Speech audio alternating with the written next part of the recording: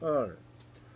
I have not seen this. I've seen many people do tarot and runes, but I have not seen Ogham. Ogham are the trees. They were from ancient Celtic times. And what the Ogham is usually written on for divination purposes are little pieces of the tree. Now, this would be the first one. This is birch.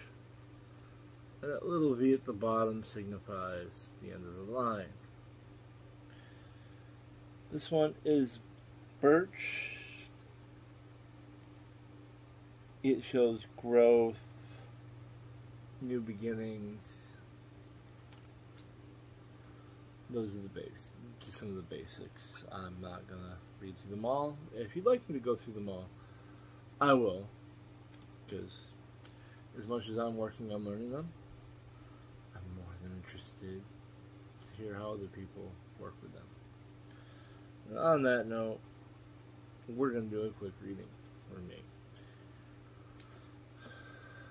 And I do a three past, present, future.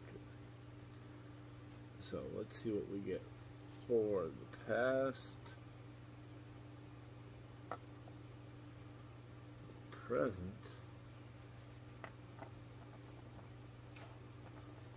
and the future.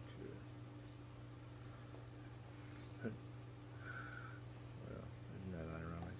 Okay. For the past. For anybody who says I've got to look it up because I don't know, as I said, I am learning.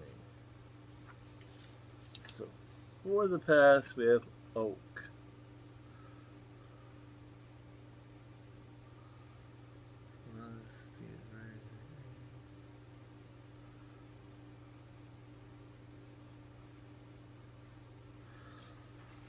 It comes with being very old and weathering storms.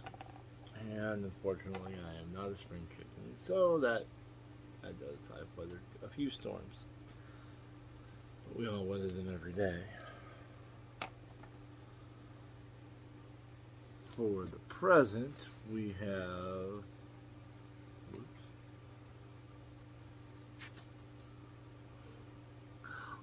Alder. Oops. I'm not remaking this.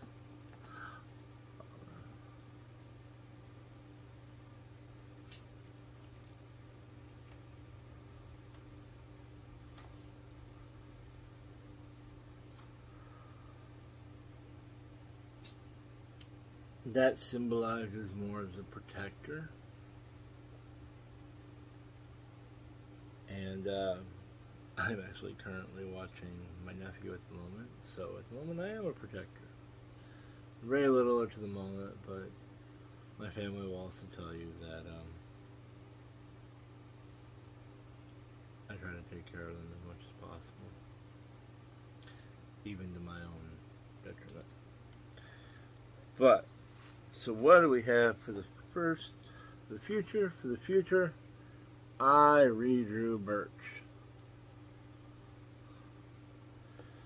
So, as I said, indicates new beginnings. Well, it's the future, so that tells me there may be some change coming, which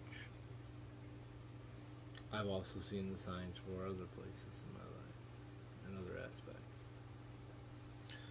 So, and I did just officially start a new position at work, so those all kind of work.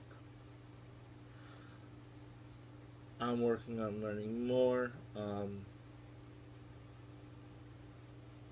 you think I read them wrong? I'm more than interested to hear your interpretation. But, uh,